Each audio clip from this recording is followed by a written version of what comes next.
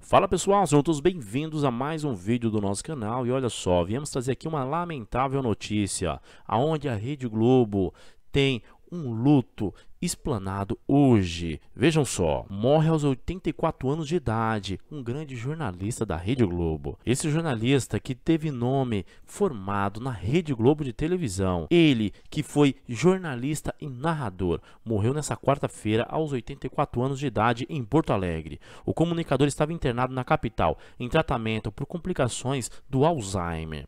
Nas redes sociais, a jornalista Cristina Ranzolin, filha do jornalista, publicou uma homenagem ao pai. Vou sentir muita saudade desse abraço.